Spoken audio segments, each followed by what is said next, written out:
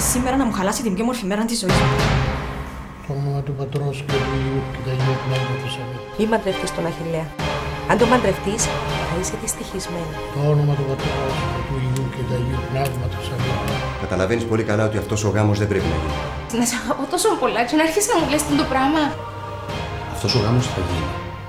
Τρέφεται ο δούλος του Θεού Αχιλέας